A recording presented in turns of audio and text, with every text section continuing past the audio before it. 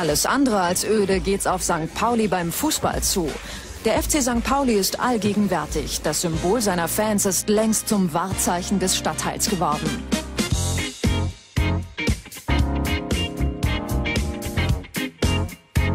Solange der Totenkopf dasteht und die zwei gekreuzten Knochen darunter, äh, ist das St. Pauli und ist das auch völlig in Ordnung. Und ich habe das Ding früher auch getragen, ähm, obwohl ich Werder Bremen-Fan war. Einfach nur, weil es natürlich auch, also ich rede jetzt von der Zeit von 90, 91, 92, so als St. Pauli auch einmal erste Liga war. Ähm, da habe ich das einfach getragen, um, um, um zu representen, so, weil, für, für Hamburg. So, weil wir sind immer in Deutschland rumgefahren, in, auf den Jams aufgetreten und da muss man natürlich auch zeigen, wo man herkommt. Und da ist natürlich so ein St. Pauli-Pullover perfekt. Und unsere ganzen befreundeten Rapbands, wenn sie hier waren, wollten sie immer als erstes um, um, unbedingt einen St. Pauli-Pulli haben. Dann musste ich mit denen in den einzigen kleinen Fanshop gehen in der Schanze, äh, wo es den überhaupt gab. Heutzutage ist es ja was ganz anderes.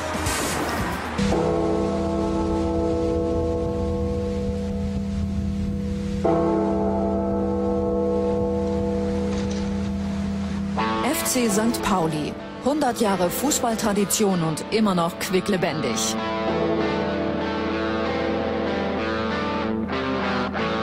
Also der FC St. Pauli ist sicherlich ein ungewöhnlicher Verein in vielerlei Hinsicht. In erster Linie ist das, steht das Stadion mitten in der Stadt, ähm, mitten im Stadtteil. Das ist natürlich das Besondere. Ja, und drumherum sind alles diese typischen Bars, Kneipen, die auch für St. Pauli stehen. Und das ist schon ein ganz besonderer Flair. Ein Verein wie sein Stadtteil. Weltoffen, unangepasst und visionär. Wenn das ganze Stadion St. Pauli ruft, dann habe ich halt das Gefühl, es geht um mehr als nur um den Fußballclub. Eine Überzeugung, die auch die Spieler teilen. Da geht es halt dann nicht nur um den Sport, sondern für viele ist es halt auch ein Ausdruck von, ja, von dem Lebensstil sozusagen. Die Hamburger Hip-Hop-Heroen von Fettes Brot halten schon seit Jahren ihre Dauerkarten in Ehren. Sind regelmäßig dabei, wenn das Millantor-Stadion zur Bühne wird für Profifußball, Popkultur und Politik. Ja, es gibt ja einfach klare, so, sag ich mal, äh, äh, politischen Konsens äh, hier im Stadion, was Rassismus oder Sexismus angeht. Das läuft hier bei St. Pauli nicht, das wird auch sozial kontrolliert. In vielen Fußballstadien wird dumpfer Rechtsextremismus bis heute toleriert. Der FC St. Pauli zeigt eindeutig Flagge. Dieser Verein ist absolut antifaschistisch. Und da ja schon, muss man sagen, über viele Jahre hinweg eine ganz klare einzelne Stellung im deutschen Profifußball. Ob im Sprecherrat, dem Sprachrohr aller St. Pauli-Fanclubs oder im Fanladen, der Anlaufstelle für Anhänger aus nah und fern. Die Fans mischen sich ein. Sie engagieren sich gegen die Kommerzialisierung des Fußballs und das unverhältnismäßige Vorgehen der Polizei. Selbst wenn wir diese Politik, die im Rechts-Links-Schema vielleicht noch funktioniert, mal außen vor lassen, ist es halt, dass die Polizei zum Beispiel mit den Fußballfans was ausprobiert und teilweise drangsaliert, sodass wir ein Spielball der Politik sind. Gelegentlich kommt es nach Spielen des FC St. Pauli zu Straßenschlachten. Sehr zum Ärger der St. Pauli-Fans. Vor wenigen Wochen kam es zur Eskalation. Eine Fankneipe wurde am Rande von Krawallen im benachbarten Schanzenviertel von Einsatzkräften gestürmt. Ein Gast verlor dabei zahlreiche Zähne.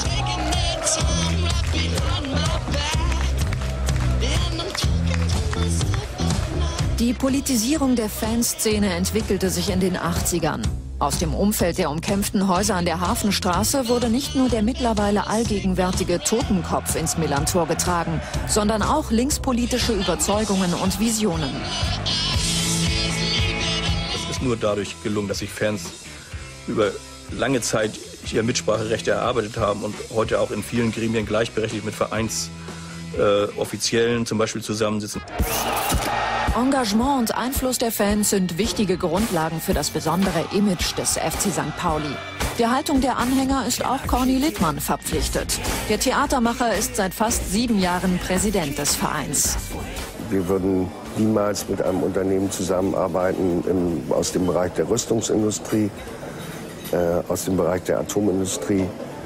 Also es ist äh, Chance und Gefahr zugleich. Das Außenseiter-Image des Vereins passt nicht zu jedem Werbepartner, aber hervorragend in die Vermarktungsstrategien des Profifußballs. Man kann dieses Image auch sehr gut verkaufen. Die Fans sind halt sozusagen auch irgendwo das Kapital und die Melkkuh dieses Vereins, was einem natürlich manchmal freut und manchmal meistens tierisch auf den Keks geht. In allen Lagern des streitbaren Vereins anerkannt, der Einsatz für Viva Con Agua. Die Initiative für sauberes Trinkwasser entstand während eines Trainingslagers des Profiteams auf Kuba. Der damalige Spieler Benny Adrian widmet sich seitdem voll und ganz dieser Mission, unterstützt von Verein und Fans.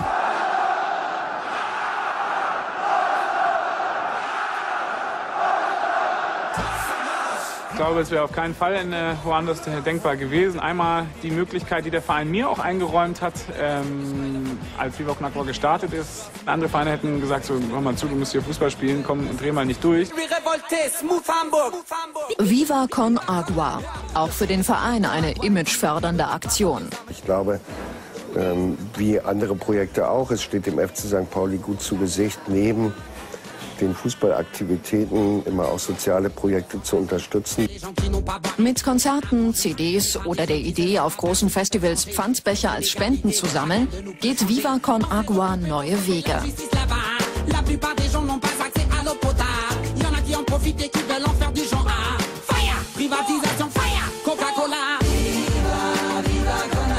Wenn Entwicklungshilfe normal nicht sportlich, nicht sexy, nicht äh, popkulturell und nicht cool ist, dann muss man halt versuchen, ja, popkulturell cool, sexy zu sein, um die Leute dort abzuholen und sie für diese Arbeit zu begeistern. Mithilfe der Fans konnten bereits Brunnenbauprojekte in elf Ländern verwirklicht werden. Viva Con Agua, ein langfristiges Projekt, hinter dem der ganze Verein steht. Und für das Initiator Benjamin Adrian vor wenigen Tagen mit dem Bundesverdienstkreuz ausgezeichnet wurde. Verein ist ja schon ein, ein absoluter Farbtupfer so für, die, für, das ganz, für ganz Fußball Deutschland. So. Von daher, ähm, und gerade wenn man, das ist halt immer so meine, meine Idee noch dazu, irgendwie, wenn man hier versucht, Potenzial zu nutzen, um mit St. Pauli auch eine Art Utopie ja, zu verbinden, dann ist das auf jeden Fall eine Signalwirkung, die man nur hier erzeugen kann. So. Also ich glaube, das ist es wert, um mal zu schauen, so, wo kann das denn hingehen und was kann auch ein Fußballverein über den Fußballplatz hinaus an Bedeutung äh, und an Werten oder so kreieren. Der FC St. Pauli, ein kleiner Fußballverein, erzielt große Wirkung.